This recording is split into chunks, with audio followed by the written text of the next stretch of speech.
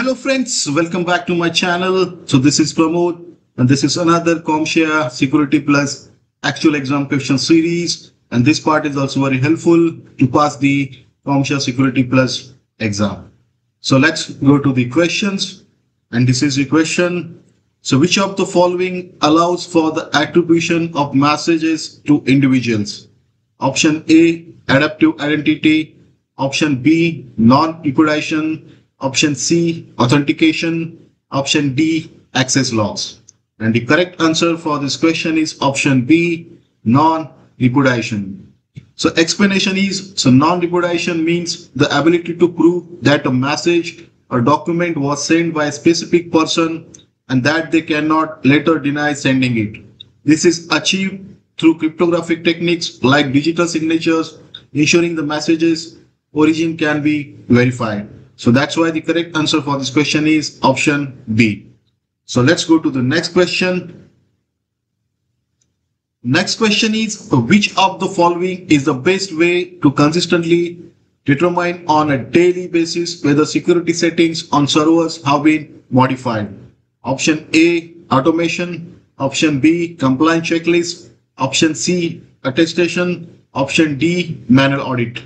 And the correct answer for this question is option A, automation. So let's check the explanation. So the best way to consistently determine on a daily basis whether security settings on servers have been modified is through automation. So automation allows for continuous monitoring and detection of changes to server configurations, providing real-time alerts whenever modifications occurs. Whereas manual checks or compliance checklists are less efficient and prone to human error. So that's why the correct answer for this question is option A, automation. So let's go to the next question. Next question is which of the following tools can assist with detecting an employee who has accidentally emailed a file containing a customer's PII? Option A, SCAP. Option B, NetFlow. Option C, antivirus. And option D, DLP. And the correct answer for this question is option D, DLP.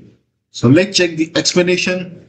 The tool that can assist with detecting an employee who has accidentally emailed a file containing a customer's PI is DLP, data loss prevention. So DLP systems are designed to monitor and control the flow of sensitive data with an organization, including PI, and can detect and prevent its unauthorized transmission to various channels like email. So that's why the correct answer for this question is option D, DLP. So let's move to the next question. The next question is an organization recently updated its security policy to include the following statement. Regular expressions are included in source code to remove special characters such as dollar, high, semicolon, and, and question mark from variables set by forms in a web application. So which of the following best explains the security technique the organization adopted by making this addition to the policy?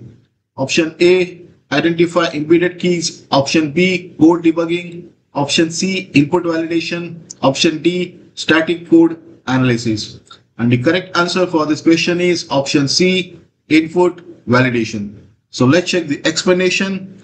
Input validation is a security technique where an application checks user input for invalid or malicious data before processing it by using regular expressions to remove potentially harmful special characters from form variables. The organization is ensuring that only safe data is submitted to the application. This prevents attacks like SQL injection or cross-site scripting excesses where attackers can inject malicious code into the application through user input.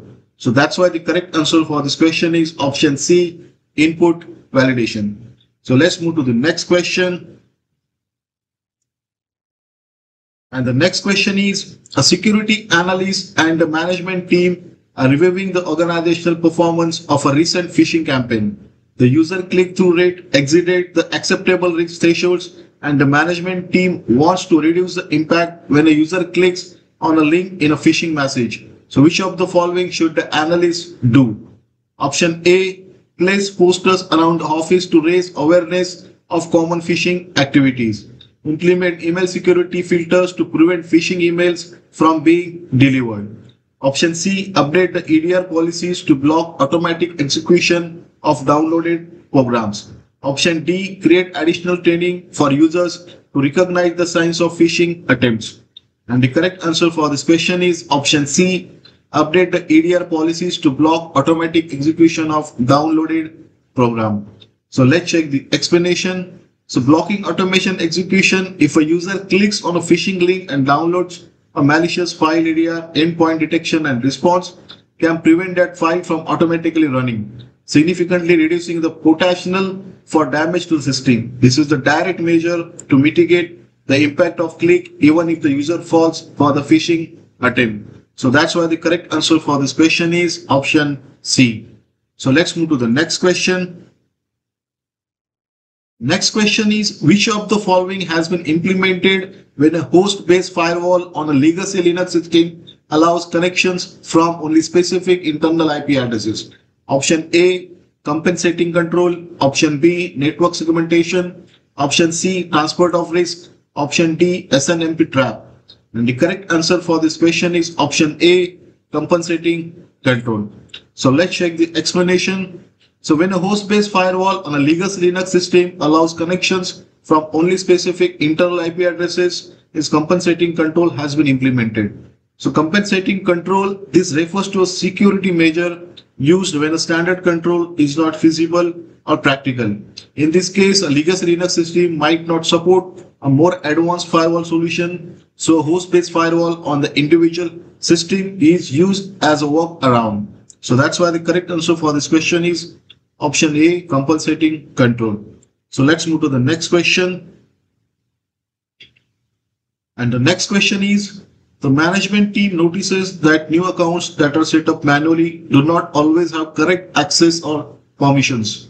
So which of the following automation techniques should a system administrator use to streamline account creation? Option A, guardrail script. Option B, ticketing workflow. Option C, escalation script. Option D, user provisioning script. And the correct answer for this question is option D, user provisioning script.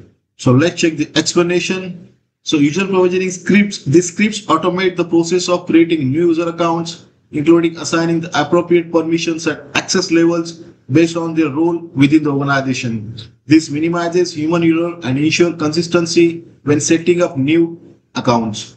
So that's why the correct answer for this question is option D, user provisioning script. So let's move to the next question. Next question is a company is planning to set up a SIEM system and assign an analyst to review the logs on a weekly basis. So which of the following types of controls is the company setting up? Option A, corrective. Option B, preventive. Option C, detective. Option D, deterrent. So correct answer for this question is option C, detective. So let's check the explanation. A SIEM system is designed to detect security incidents by monitoring and analyzing logs from various systems. It's a detective control because it identifies potential issues after they have occurred, allowing the company to react and investigate further. So that's why the correct answer for this question is option C, detective. So let's move to the next question. Next question is, the next question is a system administrator is looking for a low cost application hosting solution that is cloud based. Which of the following meets these requirements? Option A, serverless framework. Option B, type 1 hypervisor. Option C, SD-WAN. Option D, SDN. And the correct answer for this question is option A, serverless framework. So let's check the explanation. So serverless framework allows developers to deploy applications without managing servers. The cloud provider handles infrastructure, scaling and other operational tasks. This significantly reduces cost and complexity, making it a good choice for low-cost cloud-based application hosting. So that's why the correct answer for this question is option A, serverless framework. So let's move to the next question. Next question is a security operations center determines that the malicious activity detected on a server is normal. So which of the following activities describes the act of ignoring detected activity in the future?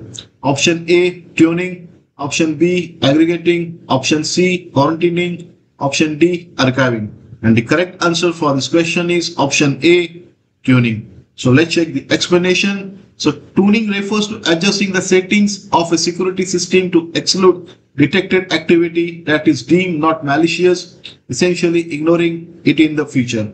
So that's why the correct answer for this question is option A, tuning. So I hope you are enjoying this video and this part has been completed. So study hard, good luck and thanks for watching. If you like this video, please don't forget to subscribe the channel to see more video like this. I will upload next part shortly. Thanks for watching. Thank you.